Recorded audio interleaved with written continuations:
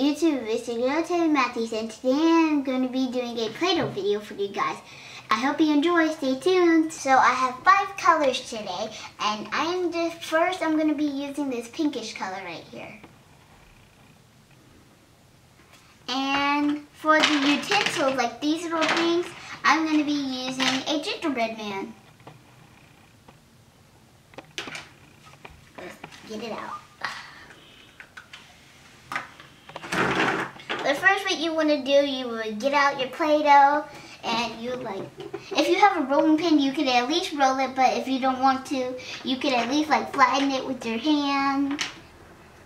And then after you do that, you get your utensil, like these little things, and you just push it in.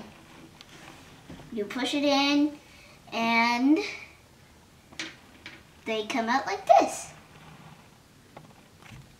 So the next color I have is this hot pink color that I am going to use. And the utensil that I'm going to use is this, um, these things that you use, that you like push it in and then you like, you make your own little thing. So first let's get this out. And you want to like smushing it up enough so it can like go in here. Don't put too much though, just put like as much that fits. And then after that, you stop, you put this in, and if you want to do it my way, we'll just watch right now. So what you do is, you push the thing down on the table like this, and then you press the thing, and then you go press, press, press, press, press, press, press until it's all done. And then this is what you make.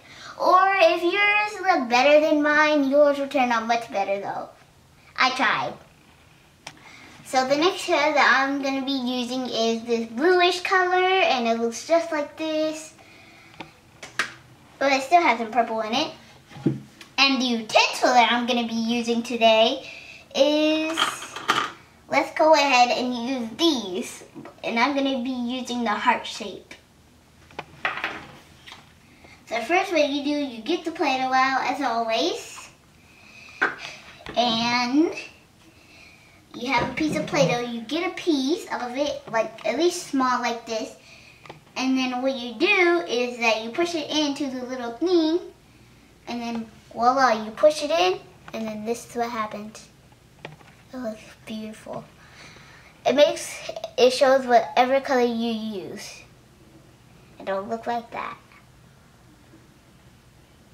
Thank you for watching. Subscribe and comment down below what other videos you want me to do. Thank you guys for watching. Enjoy!